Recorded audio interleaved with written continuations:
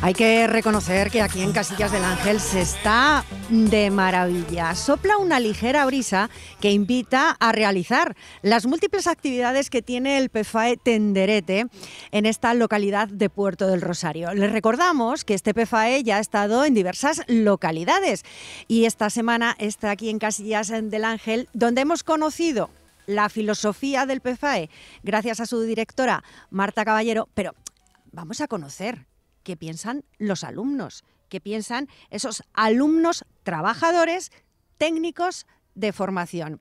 Muy bien acompañada estoy aquí en este set improvisado de picnic. Yo creo que luego nos vamos a quedar un ratito aquí de picnic todos los que estamos haciendo este directo de Onda Fuerteventura, porque me decía Pablo, es que aquí se está, se está muy bien. Hola Pablo Gómez, muy buenas. Buenas, buenas. Se está muy bien, ¿verdad? Se está muy a gusto. La Muy a, muy a gustito. Oiga, eh, a mí me han dicho que usted quiere estar en este PFAE y que le den más trabajo. Venga, que, que yo quiero aprender más, que yo quiero hacer más cosas. Bueno, muy buenos días. Eh, nosotros somos alumnos del PFAE Tenderet, eh, que básicamente, para que no lo sepas, es un proyecto de formación activa para el empleo, Sí. eh, en el que nos vamos a certificar cuando esto termine, eh, como directores, coordinadores y dinamizadores de actividades educativas en el tiempo libre. Y se lo están pasando francamente bien, ¿eh? Muy bien, muy bien. Muy bien, Muy bien. muy Es, bien. es como, no es como, es como no trabajar, está súper divertido. Esto es como no estar en clase, esto es como no trabajar, pero ustedes están en clase, están trabajando, pero desde otro punto de vista que es muy bonito también, ¿no? Sí, sí. Bueno, pues se lo está pasando muy bien Pablo, ya lo ven, está encantado de estar en este PFAE. Y Jennifer Tejera, ¿qué tal se lo está pasando? Muy buenas. Muy bien, buenos días. Estás encantada. Sí, Eh, súper porque bien. Estar con los niños la verdad es que seduce, ¿verdad? Sí. Y aprendes mucho de ellos. También. Eso es, eso es muy importante. Cuando aprendes, bueno, pues cuando hay esa, mm, esa ida y vuelta en torno a la formación, pues la verdad es que ayuda y ayuda mucho.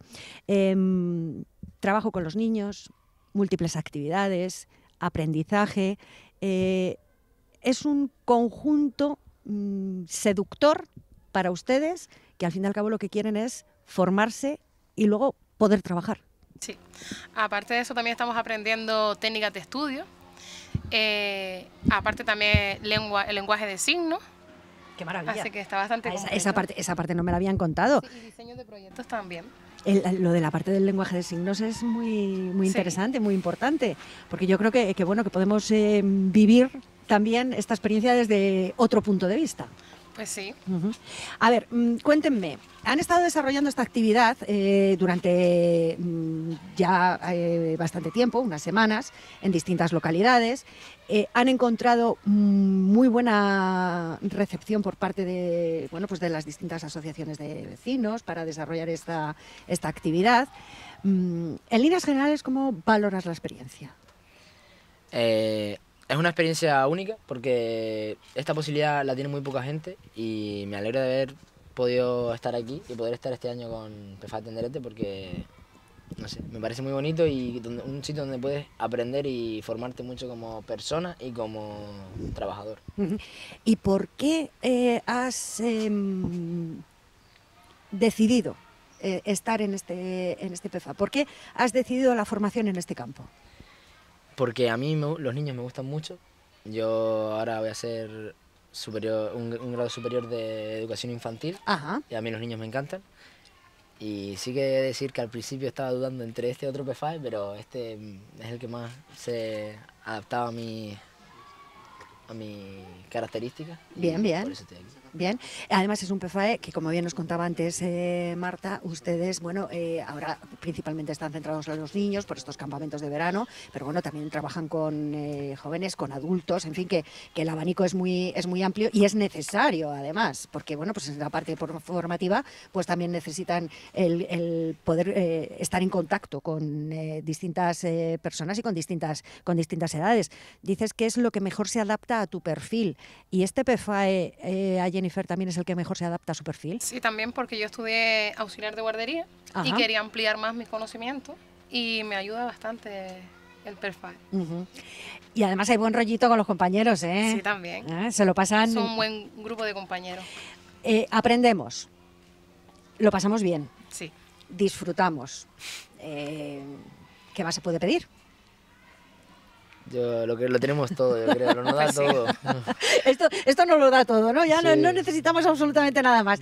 Y nos han eh, comentado además, que nos lo comentaba antes la, la directora, que viaje a Barcelona que tiene eso aquel, ¿eh? Nos han puesto el viaje a Barcelona para que sigamos en el, en el. Ah, vale, vale. Pero esto no nos está escuchando ahora nadie. No, no. Ah, ah, esto no, no. El viaje a Barcelona lo han dicho, bueno, pues vamos a ver si, si se quieren quedar. Pero ustedes se quedarían de todas Claro que formas. sí. Sí, sí, nos quedamos de todas formas. Se quedan de todas formas. Una cosa, mm, vamos a dar una exclusiva. Sí. Em, este año em, nos han invitado, Hospitran, al Festival de Payasos y Payasas eh, Tran Tran, que se realiza el fin de semana del 22, 23 y 24 de septiembre en Gran Tarajal. Y bueno, vamos a estar allí dina- dinamizando el día 23 eh, actividades de todo tipo y con todo tipo de personas maravillosas que y lo vamos a pasar genial. Así Bueno. que están todos ustedes invitados y, y ya está.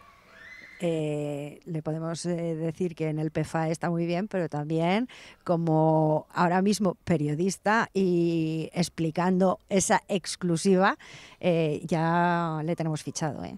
Gusta. Que sepa, que sepa usted que tiene, que tiene hueco. Una experiencia que puede ser maravillosa, ¿verdad, Jennifer? Pues sí, bastante. Porque así aprendemos también. porque es un aprendizaje y además eh, en esa gran labor que realiza Hospitran y ese festival de payasos, que bueno, que supone eh, pues una fiesta, una gran fiesta para Gran Tarajal. Sí. Eh, durante todo este periodo, durante toda esta formación que han desarrollado ustedes en el, en el PFAI y que van a seguir desarrollando, por supuesto que sí, hay una parte mm, teórica, hay una parte práctica. ¿Se ha combinado bien? Sí.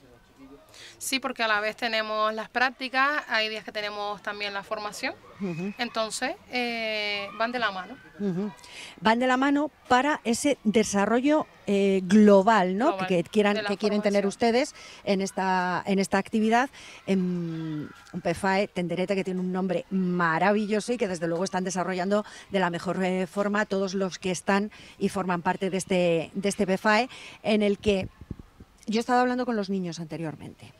Eh, las actividades, obviamente las actividades deportivas, pues es la parte que más eh, les gusta, pero ellos eh, en líneas generales dicen, no, es que a mí me gusta todo lo que, lo que hacemos. ¿Cómo planifican ustedes el que, bueno, pues este grupo de niños pueda ir a una actividad deportiva, otro que se esté con la pintura, otros eh, que, que- que desarrollen su almuerzo también, obviamente, y su desayuno? Esa parte es, diría yo, la más complicada del, del trabajo porque son muchos niños, muchos grupos de niños de diferentes, de edades muy diversas. Entonces, pues tienes que eh, adecuar eh, cada actividad a cada niño y si, si no funciona, pues cambiarla enseguida. Tienes que Correcto. tener una batería muy grande de actividades. Pero como grupo somos un buen grupo y podemos contar siempre con los compañeros para que nos ayuden y siempre estar activo en activo movimiento y tener, mm, si algo sale alguna complicación, siempre poder solucionarlo lo más rápido posible. Así que se hace muy ameno. O sea que eh, tienen esa planificación previa Sí. en torno a distintas actividades, por si, bueno, pues eh, efectivamente eh, puede haber un momento que veas que una actividad no funciona demasiado bien con el grupo en el que estás, eh, con el que estás trabajando y tienen que tirar de imaginación y cambiar sobre la marcha. Sí, porque por ejemplo nosotros llevamos siempre una planificación hecha, hacemos una reunión antes de todas las actividades y eh, evaluamos y vamos viendo. Siempre llevamos actividades extras por si hay que hacer algún cambio, pero intentamos integrarlos a todos. Por eso tenemos manualidades, hacemos de reciclaje también para que los niños vean la importancia del reciclaje, eh, deportivas para la integración y la, y la cooperación y la participación, es Eh, importante. educativas también, Educativas. veces. Que es, que es lo necesario Sí, también. También. muchas de... Es lo necesario. Y además hay una parte que me ha gustado mucho, porque bueno, eh, estando en la era de las eh, tecnologías, en la era de las nuevas tecnologías, donde bueno, pues, pues un móvil, un ordenador, una Play para los más pequeños, pues siempre estamos muy pendientes de todo ello. Eh, uno de los eh, jóvenes que ha estado hablando para Onda Fuerteventura decía, a mí lo que más me ha gustado es la catapulta Ah, sí. las manualidades, el aprender a hacer juegos, eh, bueno, pues con lo primero que, que- que puedas tener a mano. También eh, el que puedan, in- el poder incentivar ¿no? la imaginación es muy importante para ellos. Las manualidades suelen gustar muchísimo y la verdad es que aquí la compañera es una máquina, es una experta en Que es manualidades. experta en manualidades. Es que me encantan las manualidades. una experta. Pero tenemos un montón de manualidades muy, muy guays que se pueden hacer en un momento y te solucionan el papel muchas veces cuando no sabes qué hacer. A los niños simplemente te, lo, te la piden. Correcto. Quieren, quieren hacerlas. O sea, que, que no necesariamente tenemos que tener el móvil o tenemos que tener la No, no, Play en sí, las manos, sino simplemente pues con, con unos palitos, con unas pinturitas, pues podemos realizar un juego. No, y también hay que decirle que hay juegos que están preparados con reciclaje. Eh, por ejemplo, el juego de los bolos es con cosas de casa. Son Entonces, cosas- para que los niños vean también la importancia del reciclaje. Ajá. Tenemos juegos de reciclaje para que ellos vean, por ejemplo, tenemos unas pistas que hicimos nosotros mismos, porque nosotros a veces hacemos nuestras, nuestras manualidades también. Eh, con un coche tienen que llevar hasta, hasta donde está la- el contenedor. Entonces, son juegos que ellos le llaman y así también aprenden. Y lo bueno es que en las manualidades eh, está la creatividad de los niños. La bueno. También los juegos, las manualidades hacemos que tengan juegos también. Qué bueno es, efectivamente, bueno, pues esa creatividad, el estar eh, todos, bueno, pues sincronizados, ¿no? A la hora de poder desarrollar esa, esa actividad que es maravillosa, que entra en la preparación de esas actividades, entra dentro de la parte formativa de, de ustedes en un PFAE en el que bueno pues también aprenden a salvar obstáculos porque mm, se les encuentra un inconveniente de una actividad que no pueda gustar eh, pues hay que improvisar Sí, sobre la marcha. Sobre Aunque tengan algo preparado, pero la improvisación también es importante. sí, también.